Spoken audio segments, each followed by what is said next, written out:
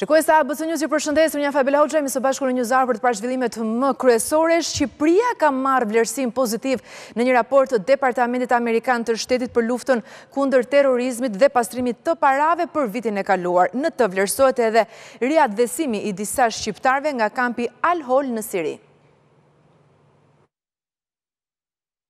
Shqipëria ka bërë përparim në luftën kundër pastrimit të parave, ka një strategji konkrete për luftën kundër terrorizmit dhe ka kryer dënime konkrete ndaj ekstremistëve të dhunshëm. Ky konstatim vjen nga Departamenti Amerikan i Shtetit, i cili përmes një raporti për terrorizmin gjatë vitit dy mijë e njëzet e dy, vë në dukje ecurinë e Shqipërisë në luftën kundër ekstremistëve. Shqipëria ndërmori hapa drejt përmirësimit të regjimit të saj kundër pastrimit të parave dhe financimit të terrorizmit, duke përfshirë finalizimin e regjistrimit të pasurive të paluajtshme, përfundimin e një projekti afatgjatë për reduktuar ekonominë informale, miratimin e një kuadri ligjor adekuat, për shkeljen e detyrimeve të regjistrimit të organizatave jofitimprurëse dhe zbatimin e sanksioneve proporcionale dhe bindëse ndaj subjekteve që nuk kanë deklaruar pronarët e tyre përfitues në regjistrin brenda afatit. Raporti i DASH evidenton se vendi ynë, ka miratuar një strategji kombëtare kundër terrorizmit dhe kundër ekstremizmit të dhunshëm deri në vitin dy mijë e njëzet e pesë. Kërcënimi i terrorizmit në Shqipëri konsiston në përpjekje të organizatave të huaja terroriste për të radikalizuar të rinjtë shqiptarë drejt dhunës. Departamenti amerikan përgëzon qeverinë tonë për riatdhesimin e trembëdhjetë shqiptarëve nga kampi i Al-Holit në Siri, teksa thekson se vendi është angazhuar në procesin e rehabilitimit të tyre. Shqipëria vazhdoi mbështetjen e saj të fortë për përpjekjet ndërkombëtare kundër terrorizmit në vitin dy mijë e njëzet e dy duke riatdhesuar trembëdhjetë shtetas të saj nga kampi i personave të zhvendosur Al-Hol në Siri dhe duke u angazhuar në procesin e riintegrimit dhe rehabilitimit të tyre gjatë gjithë vitit. Një operacion i Interpol, Europol dhe agjencive të tjera ligjzbatuese në 26 vende vuri në pranga mbi 500 persona për trafik armësh, droge dhe migrantësh. Vetëm në Shqipëri u arrestuan 28 persona gjatë kontrolleve në qindra objekte dhe biznese. Policia e Shtetit ka vënë në pranga njëzet e tetë persona në kuadër të operacionit mbarë ndërkombëtar të koduar EMPACT JAD, i cili u zhvillua njëkohësisht në njëzet e gjashtë vende të Europës me mbështetjen e Europol, Interpol, Eurojust, Frontex, Agjencisë Europiane të Rojës Kufitare dhe të agjencive të tjera ligjzbatuese ndërkombëtare. Në Shqipëri operacioni u koordinua nga Drejtoria Europol, duke angazhuar në total treqind e pesëmbëdhjetë punonjës të policisë për kontrollin e dy mijë e gjashtëqind e dyzet e tetë subjekteve, një mijë e pesëqind e njëzet e pesë shtetasve, si dhe nëntëqind e tetëdhjetë e shtatë automjeteve. Në vendin tonë u sekuestruan edhe armë zjarri, municione luftarake, tetëdhjetë e një kilogramë kanabis dhe qindra doza kokainë. Operacioni kishte në shënjestër rrjete të trafikimit të armëve të zjarrit, të lëndëve narkotike, të emigrantëve, si dhe goditjen e rrjeteve kriminale me rrezikshmëri të lartë, ndërsa u zhvillua midis trembëdhjetë dhe tetëmbëdhjetë nëntorit dy mijë e njëzet e tre. Në këtë operacion morën pjesë edhe Kosova si dhe vende të tjera të Ballkanit, ndërsa operacioni u koordinua nga një qendër ndërkombëtare e krijuar në Shkup. Shkëmbimi i informacionit çoi në hapjen e njëqind e gjashtëdhjetë e tre çështjeve të reja kundër rrjeteve kriminale. Në total nga ky operacion u arrestuan pesëqind e gjashtëdhjetë e gjashtë persona, kryesisht për trafik droge dhe kontrabandë emigrantësh, ndërkohë janë sekuestruar pothuajse një ton drogë, duke përfshirë gjashtëqind e njëzet e gjashtë kilogramë kokainë, si dhe rreth treqind kilogramë kanabis dhe heroinë. Përsa u përket armëve, nga ky aksion i Europol u kapën treqind e dhjetë armë zjarri dhe mbi njëzet mijë fishekë luftarakë. Një reagim për këtë operacion erdhi edhe nga ministri Taulant Balla, i cili përgëzoi policinë shqiptare për bashkëpunimin me agjencitë e huaja policore. Spak mbylli hetimet për kokainën e kapur në Frakull të Fierit një vit më parë dhe çon dosjen në gjykatë. Prokuroria dërgon 10 persona si të pandehur para drejtësisë. Grupi kriminal që drejtohej nga ish-kreu i komunës Viktor Çervanaku trafikonte kokainë nga Kolumbia të kamufluar me ngarkesat e plehut kimik. Prokuroria e posaçme ka mbyllur hetimet për laboratorin e drogës që u zbulua një vit më parë në fshatin Frakull të Fierit, ku u sekuestrua edhe sasia prej katërqind e tetëdhjetë e pesë kilogramë kokainë. Tashmë pritet që spak t'i drejtohet gjykatës me kërkesën për kalim për gjykim të dosjes në ngarkim të dhjetë personave, ku të arrestuar kanë përfunduar Viktor Çervanaku, vëllai i tij Zenel Çervanaku, Denirson Çervanaku, si dhe e fejuara e këtij të fundit Enxhi Ferhati. Po kështu spak ka mbyllur hetimet edhe për Nikolin Gjolenën, që dyshohet të jetë kreu i grupit kriminal, si dhe për Klajdi Vrionin, Julian Malajn, Redion Meshin, Bledar Matoshin dhe Maril Doronën. Por pas hetimeve të prokurorisë ka dyshime se përveç të arrestuarve, ka edhe persona të tjerë të përfshirë në aktivitetin kriminal të trafikimit të kokainës dhe procedimi është veçuar për të zbuluar rolin e tyre. Nëntorin e kaluar në oborrin e banesës së Viktor Çervanakut janë gjetur rreth gjashtëqind thasë me pleh kimik, ku pas ekspertizës, rezultoi se kishte përbërje kokaine dhe brenda saj u gjend sasia prej katërqind e tetëdhjetë e pesë kilogramë kokainë e ardhur nga Kolumbia. Sasia e drogës u zbulua nga një operacion i Prokurorisë së Posaçme, në bashkëpunim me DEA-në amerikane. si dhe policinë malazeze. Droga vinte nga Kolumbia ndërsa në Shqipëri ajo do të përpunohej dhe më pas destinacion përfundimtar kishte tregun europian. Ndërsa dy shtetasit kolumbianë që do të nxirrnin lëndën narkotike nga plehu kimik u arratisën dhe i shpëtuan operacionit të policisë shqiptare. Shtatëdhjetë vjeçari nga Laknasi që qëlloi për vdekje fqinjin e tij shprehu pendesë për krimin e kryer. Në dëshminë para policisë autori i vrasjes tha se kishte qëlluar mbi dy fqinjët pasi ishte frikësuar dhe kërcënuar prej tyre. Viktima dhe i plagosuri u qëlluan nga shtatëdhjetë vjeçari në hyrjen e shtëpisë së këtij të fundit, ku kishin shkuar për t'u sqaruar. Maliq Marku shtatëdhjetë vjeç ka shfaqur pendesë për vrasjen e fqinjit të tij Shefqet Hasa si dhe plagosjen e Ismet Keças. Një ditë pas ngjarjes në Laknas të Kamzës shtatëdhjetë vjeçari është marrë në pyetje nga oficerët e policisë ku ka pranuar krimin dhe është shprehur se e ka bërë për shkak se ishte ndjerë i kërcënuar. Sipas deklaratave të shtatëdhjetë vjeçarit dy fqinjët e tij Shefqet Hasa dhe Ismet Keça kanë shkuar pak para ngjarjes në banesën e tij duke i kërkuar llogari për disa piketime të bëra nga ujësjellësi i Kamzës dhe duke i thënë se nuk do ta lejonin kurrsesi të ndërhynte në kanalin e ujërave të zeza, që ata kishin hapur privatisht me disa banorë të tjerë. Maliq Marku ka shtuar se nga gjaknxehtësia ka hyrë në banesë dhe ka marrë pistoletën që e kishte pa leje dhe ka qëlluar katër herë për vdekje Shefqet Hasën, ndërsa me dy plumba ka plagosur Ismet Keçan. Autori shtatëdhjetë vjeçar kishte vetëm një javë që ishte kthyer nga Britania e Madhe, ku edhe jetonte prej dy vitesh. Autori fillimisht ka bërë rezistencë për t'u dorëzuar, por pas negociatave ka hedhur armën në oborr dhe është vënë në pranga. Pesëdhjetë e gjashtë vjeçari shqiptar në Greqi u ekzekutua nga një person i vetëm, ndërsa hetuesit thonë se vrasja mund të ketë ndodhur për larje hesapesh. Disa ditë më parë, në të njëjtën zonë policia gjeti një makinë të braktisur me armë brenda saj. Një tridhjetë e nëntë vjeçar shqiptar është shpallur në kërkim pasi iu gjetën gjurmët në makinë, ndërsa dyshohet për lidhje mes dy ngjarjeve. Të tjera detaje janë zbardhur nga vrasja e pesëdhjetë e gjashtë vjeçarit shqiptar në Greqi. Timi Roland Drobonik u ekzekutua me tre plumba mbrëmjen e të enjtes përpara shtëpisë së tij në Paleo Faliro të Athinës. Referuar mediave vendase, pesëdhjetë e gjashtë vjeçari rreth orës njëzet e një me orën lokale zbriti nga motori dhe po drejtohej për në pallatin ku jetonte. Teksa kishte ende kokoren e motorit në dorë ai u qëllua tre herë me një pistoletë nëntë milimetër nga një person ende i paidentifikuar. Sipas informacioneve, autori e ka qëlluar viktimën nga një distancë e afërt, duke e kapur në befasi dhe më pas është zhdukur në drejtim të panjohur. Autoritetet dyshojnë se ai kishte një bashkëpunëtor që e priste pak metra më poshtë. Pesëdhjetë e gjashtë vjeçari u dërgua në spital, por nuk arriti t'u mbijetojë plagëve të marra. Autoritetet greke dyshojnë se ngjarja lidhet me larje hesapesh. Policia dyshon se vrasja mund të ketë lidhje me një çështje të disa ditëve më parë po në këtë lagje. Efektivët gjetën një automjet të braktisur që rezultoi i vjedhur, por edhe me targa të vjedhura. Brenda mjetit u gjetën një kallashnikov, një granatë dore, karikator, një bidon benzinë dhe një kokore. Gjurmat e gishtave dhe ADN e gjetur në mjet kanë rezultuar të një tridhjetë e nëntë vjeçari shqiptar të arrestuar në Patra në vitin dy mijë e nëntë dhe në Athinë në vitin dy mijë e nëntëmbëdhjetë për grabitje të pikave ELTA dhe bankomateve. Ai tashmë është shpallur në kërkim. Thimi Droboniku rezulton i përfshirë në grupe kriminale dhe me precedent për trafik droge, kontrabandë cigaresh dhe falsifikime. Të njëjtat burime bëjnë me dije se pesëdhjetë e gjashtë vjeçari nga Berati dyshohet edhe për grabitje me armë. Gjykata e Vlorës ka vendosur të ndajë çështjen për vrasjen e Jonada Avdisë vitin e shkuar në Potam. Arjan Tase, autori i ngjarjes, do të gjykohet i veçuar nga tetë efektivët e tjerë. Familjarët e viktimës pretendojnë se ndarja e çështjes lehtëson palët.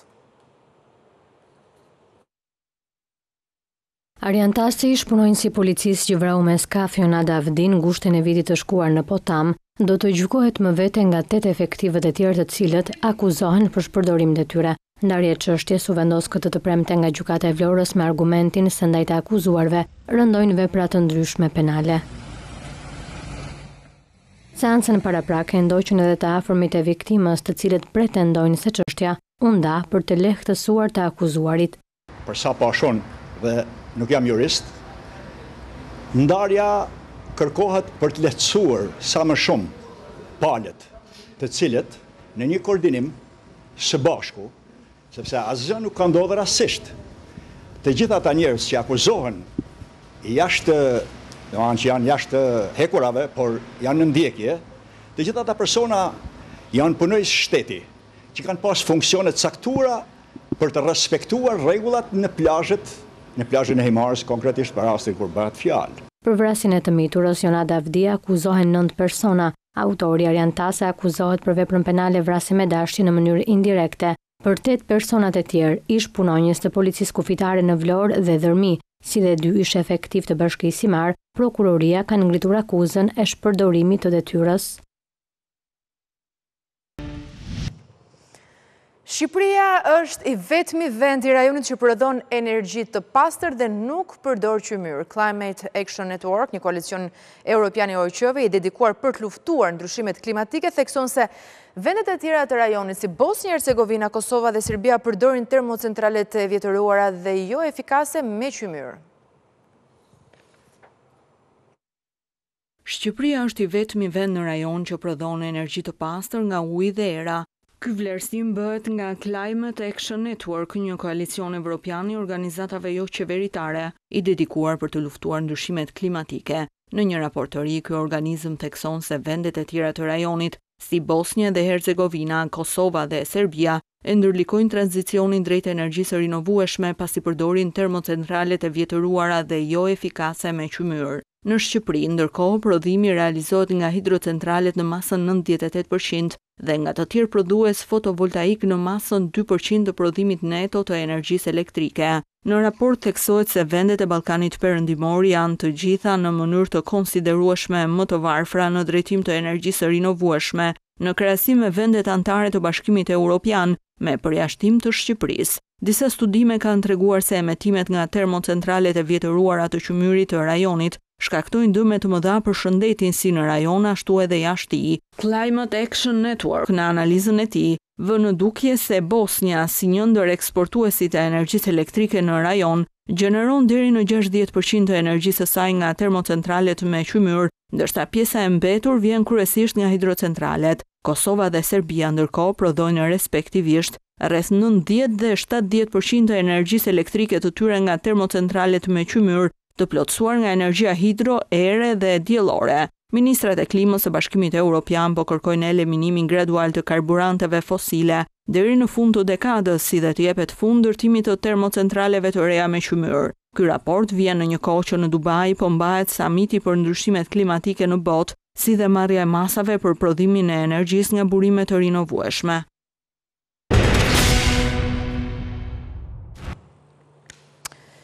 Komisioni i Ekonomisë ka mbyllur diskutimet për paketën dhe buxhetin e vitit të ardhshëm. Drejtësisë dhe bujqësisë iu akorduan më shumë fonde për investime, po ashtu u shty për në korrik të vitit 2026 rritja e taksës së qymyrit.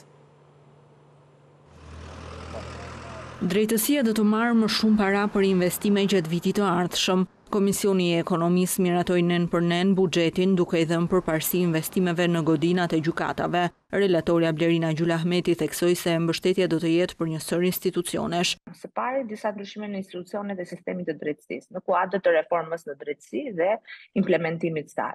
Në radhë të parë në Këshillin e Lartë Gjyqësor të shtohen shpenzimet kapitale me njëqind e tridhjetë e tre milionë lekë në programin Buxheti Gjyqësor, nga të cilat, njëzet e tetë milionë lekë shtesë për studime dhe projektime për ndërtimin e godinave të reja për gjykatat e shkallës së parë, të juridiksionit të përgjithshëm të Beratit, Durrësit, Lezhës dhe Kukësit, si dhe hartimin e projektit për instalimin e sistemit të ri BMS të godinës së gjykatës shkallës së parë, shkallës së parë. Së dyti, qind e pesë milionë lekë shtesë për rikonstruksione të pjesshme të godinave ekzistuese.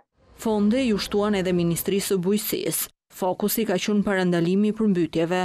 Pika shtatë, Fondi prej katërqind milionë lekësh në zërin shpenzime kapitale në Programin Menaxhimi i Infrastrukturës së Kullimit dhe Ujitjes së Ministrisë së Bujqësisë dhe Zhvillimit Rural akordohet me vendim të Këshillit të Ministrave për financimin e projekteve të infrastrukturës së ujitjes dhe kullimit të bashkive. Ndërkohë, në paketën fiskale Komisioni i Ekonomisë ka pranuar kërkesën e kompanive të sektorit të industrisë së prodhimit të çimentos, çelikut dhe ferrokromit duke shtyrë për në korrik të vitit dy mijë e njëzet e gjashtë afatin për të rritur taksën e karbonit për qymyrin. Kemi diskutuar dhe kemi pranuar argumentin tuaj që që mund t'u jepet më tepër kohë kompanive për të marrë masat për të përdorur burime alternative.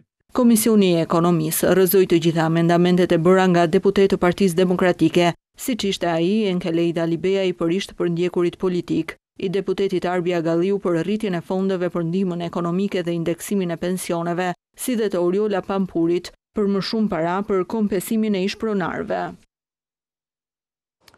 Ministrja e Bujqësisë Anila Denaj deklaron se parregullsitë në përdorimin e fondeve IPARD 2 nga Bashkimi Europian u raportuan nga autoritetet shqiptare. E ftuar në emisionin Real Story, ministrja sqaroi se nuk bëhet fjalë për pezullim, por lënien në pritje të tyre. Denaj u ndal edhe tek çështje të tjera në sektorin e bujqësisë, siç janë siguria ushqimore dhe bashkimi i fermerëve. Ministrja e Bujqësisë, Anila Denaj, ka folur për herë të parë mbi çështjen e pezullimit të fondeve IPARD dy nga Bashkimi Europian në dyshimin e abuzimeve. Për ABC News ajo ka sqaruar se kanë qenë autoritetet shqiptare ato që kanë raportuar parregullsitë në përdorimin e këtyre fondeve, ndërsa tha se për këtë çështje do flasë drejtësia. Ministrja Denaj deklaroi se nuk bëhet fjalë për pezullim, por lënie në pritje të tyre. Çfarë, ndërkohë, nuk ka vijuar për dy mijë e njëzet e tre-shin, është që një fond që disbursohej në mënyrë tremujore, për shumën, e cila është pjesë e kontraktuar dhe që duhet të vijojë në disbursim, është një proces i cili ndodh si një masë paraprake dhe dhe për tremujorin e dytë dhe për tremujorin e tretë kjo shumë nuk do të hyjë në atë që quhet thesari i fondeve për të cilit ne disbursojmë dhe është një masë paraprake që është marrë jo vetëm në Shqipëri kur ka pas raste të dyshimit për disa kontrata Ministrja e Bujqësisë theksoi se pjesa më e madhe e fondeve IPARD dy prej gjashtëdhjetë e tre milionë eurosh janë disbursuar dhe janë pjesë e kontratave që prodhojnë duke rritur eksportet me tre pikë pesë herë, ndërsa saktësoi se për fondet IPARD tre nuk është marrë asnjë masë. Duke folur për një nga problemet e bujqësisë shqiptare, bashkimin e fermerëve, Ministrja e vuri theksin tek mosrespektimi i kontratave nga grumbulluesit.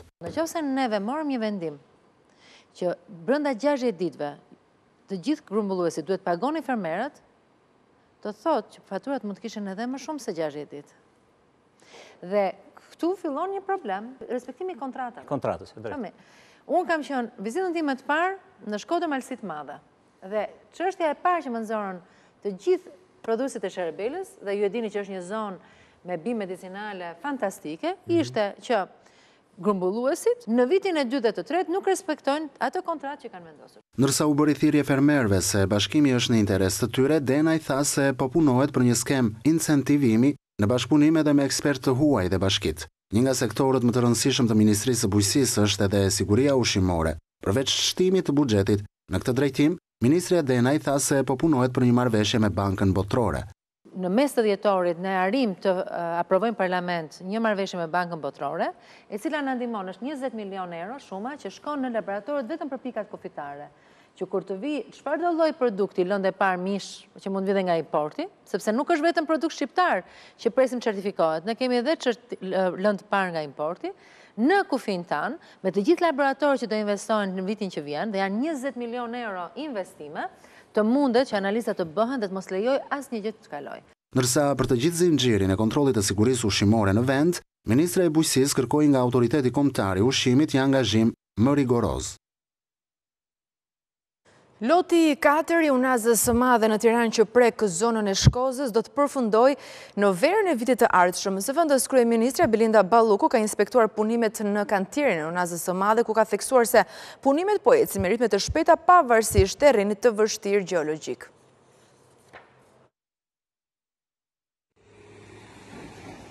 Segmenti i Unazës së Madhe që kalon në zonën e Shkozës pritet të përfundojë në verën e vitit të ardhshëm. Zëvendës kryeministrja, njëherësh ministrja e Infrastrukturës dhe Energjisë Belinda Balluku, së bashku me drejtorin e Autoritetit Rrugor Shqiptar Evis Berberi, inspektuan nga afër ecurinë e punimeve në këtë kantier. Vera e dy mijë e njëzet e katërs, flasim për pak muaj, do të jetë gati edhe ky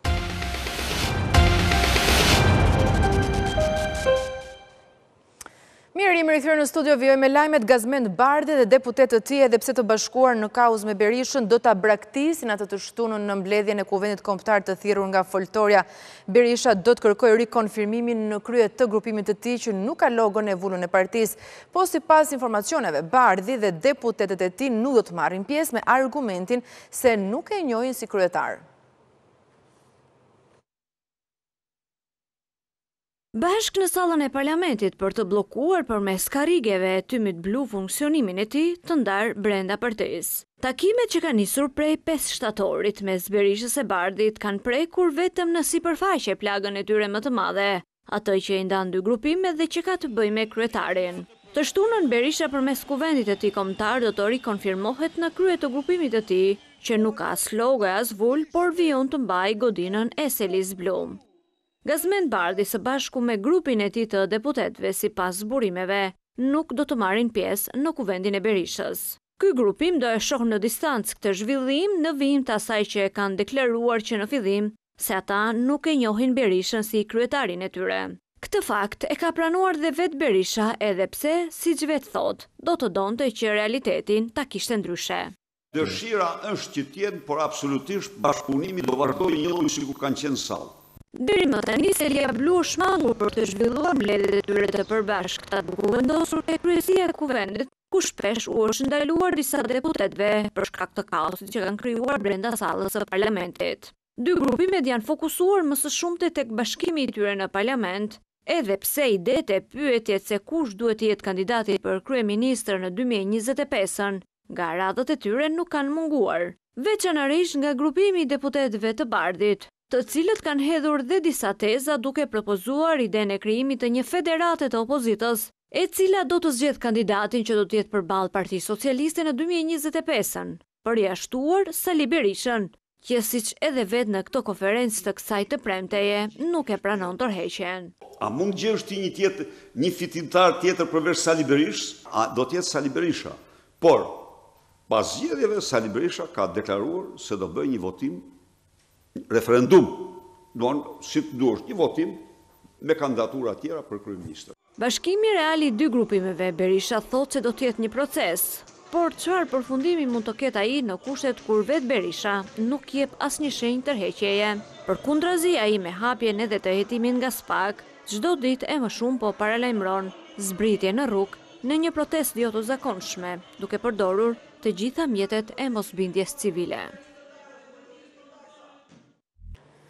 Infektimi me HIV AIDS vazhdon të shoqërohet me stigmë që shpesh i çon këta persona drejt vdekjes. Nëntë nga 10 persona të prekur nuk e ndajnë këtë informacion as me familjen e ngushtë e nuk mendojnë as për trajtim mjekësor në fazat e hershme. Mjekët bëjnë apel që trajtimi në kohë mund të shmangë transmetimin e virusit nga prindi tek fëmija. Nëse rreth njëzet vjet më parë kur mësoi se ishte infektuar me hiv, Olimbi Hoxhaj fliste me kurriz dhe emër të ndryshuar, sot është kthyer në zërin e të gjithë atyre që po përballen me këtë virus. Ishte një thirrje e brendshme ajo që e bëri të dilte publikisht. Pyetja që kam bërë në vitin dy mijë e tre ka qenë pse vdesin njerëzit nga HIV-i në Shqipëri? Pse nuk ka antiretroviral? Dhe ky ka qenë qëllimi. Dhe kur unë ia arrita që që të ktheja nga vdekja një nga fëmijët e mi vetëm përmes antiretroviralëve, thashë pse vdesin njerëzit në këtë vend. Pra ky ishte një motiv i brendshëm, një thirrje e brendshme Që e bëra në në kujtim të asaj që unë kisha më të shtrenjtën, bashkëshortit tim të ndjerë, dhe pse duhet të kisha 20 vjet që të çoja lule në, në, në varreza, në qoftë se do të kishte terapi në atë kohë dhe sot do të kishim një, një jetë krejt tjetër dhe unë nuk do përballesha me gjithë këto probleme. Në Shqipëri dhe në vitin 2023, stigma mbetet në nivele shumë të larta.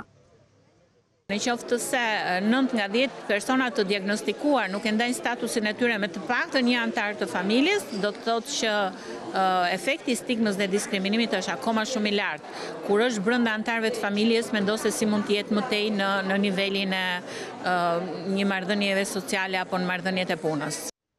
Me hiv tashmë mund të jetosh normalisht dhe të krijosh familje, por prej turpit, shumë persona po shkojnë vonë tek mjeku, duke e përhapur virusin, e u privuar kështu, jo vetëm nga të lënit pasardhës, por dhe nga jeta. Pesëmbëdhjetë vdekje në total, tetë prej këtyre i përkasin rasteve të reja. Duke qenë të stigmatizuar, tentojnë që mos të shkojnë në klinikën ambulatore dhe të marrin mjekimin. I shton mundësinë e infektimit të personave të tjerë. Dhe është vërtetuar shkencërisht që nëse një person i infektuar me hiv ka një ngarkesë të padetektueshme nuk mund të infektojë personat e tjerë.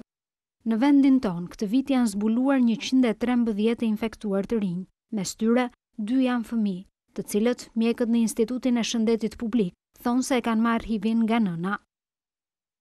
Patjetër që mendohet që nuk është bërë diagnostikimi në shtatzani i nënës dhe si pasojë ne kemi evidentimin e dy rasteve nëpërmjet transmetimit vertikal. Rruga mbizotëruse e transmetimit të HIV-AIDS-it në vendin tonë mbetet rruga seksuale. Edhe gjatë këtij viti në përqindjen më të lartë paraqitet rruga heteroseksuale e ndjekur pastaj nga rruga homo-biseksuale. Në Ditën Botërore të Luftës kundër HIV-AIDS, mjekët tregojnë se ndër rastet e reja dominojnë meshkujt në raport me femrat, përkatësisht tetëdhjetë e shtatë me njëzet e gjashtë, duke çuar numrin e personave të diagnostikuar me hiv në Shqipëri në një mijë e shtatëqind e gjashtëmbëdhjetë që prej vitit një mijë e nëntëqind e nëntëdhjetë e tre, kur u zbulua dhe rasti i parë. Mjekët këshillojnë prindërit që të tregojnë kujdes në përdorimin e antibiotikut tek fëmijët e tyre. Ata thonë se antibiotikët nuk përdoren në rast virozash teksa bëjnë thirrje për vaksinim ndaj gripit. Virozat janë shqetësimi më i shpeshtë i të vegjëlve përgjatë stinës së dimrit. Në Vlorë ka pasur rritje të rasteve, por mjekët këshillojnë prindërit të tregojnë kujdes me përdorimin e antibiotikëve. Deri tashmë nuk kemi patur ndërlikime të rënda dhe raste që të cilat i kemi rekomanduar shtrimin në spital. Pothuajse i kemi trajtuar vetë, ambulatorisht, më shumë me këshilla dhe unë do u rekomandoja gjithë nënave që mos të jenë manjake për përdorim antibiotikësh në këto raste. Pasi ato dihet janë një gjendje virale dhe në këto raste antibiotiku nuk vepron. Mjeku Pëllumb Delaj thotë se ka nisur të qarkullojë edhe gripi. Për të shmangur pasojat e këtij virusi, vaksina rekomandohet si mbrojtja më e mirë. Ministria e Shëndetësisë ka filluar fushatën e vaksinimit antigripit dhe u rekomandoj gjitha moshave, sidomos pediatrike dhe moshën e tretë, të vinë ta aplikojnë se ajo është një masë shumë ndikuese. për ta parandaluar dhe dhe në qoftë se e kap do e kap me shenja shumë të lehta dhe pa bërë ndërlikime. Ende ka persona që shmangin mjekun e u drejtohen farmacive në rastet kur kanë shqetësime shëndetësore.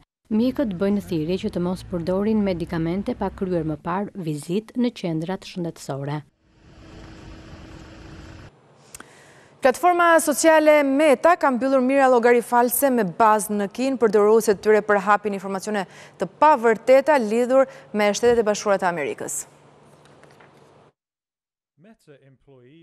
Kompania e rrjeteve sociale Meta ka hequr mijëra llogari të rreme që e kishin bazën në Kinë. Referuar mediave ndërkombëtare, përdoruesit u paraqitën si shtetas amerikanë dhe kërkuan të përhapnin përmbajtje polarizuese rreth politikës amerikane dhe marrëdhënieve SHBA-Kinë. Konkretisht, profilet e rreme publikonin informacione jo të sakta për çështje si aborti, lufta kulturore dhe ndihma për Ukrainën. Edhe pse Meta nuk i lidhi profilet me zyrtarët e Pekinit, ajo ka konstatuar një rritje të rrjeteve të tilla me bazë në Kinë përpara zgjedhjeve të vitit dy mijë e njëzet e katër në SHBA. Kompania njoftoi se Kina është burimi i tretë më i madh i rrjeteve të tilla, Pas Rusisë dhe Iranit, rrjeti me bazë në Kinë përfshinte më shumë se katër mijë e shtatëqind llogari dhe përdorte fotografi të profilit dhe emra të kopjuar nga përdorues të tjerë në mbarë botën. Në disa raste, llogaritë kopjuan dhe ngjitën fjalë për fjalë postime nga politikanë amerikanë, si dhe republikanë, ashtu e demokratë. duke përfshirë ish-kryetaren e Dhomës së Përfaqësuesve Nancy Pelosi. Llogaritë ndanë dhe pëlqyen postimet e njëri-tjetrit dhe disa nga përmbajtja dukej se ishin marrë direkt nga X, dikur Twitter. Kompania mëmë e Facebook, Instagram dhe WhatsApp i publikoi të dhënat në një raport të enjten. Ishte gjithçka e përgatitur për këtë News Hour, për më tepër ju ftoj të klikoni në webin tonë ABC News pikë al për gjithë të tjerat informacione, gjithashtu mund të na ndiqni edhe në radio nëpërmjet valëve 105 FM. Bashkë ndahemi këtu, mirupafshim.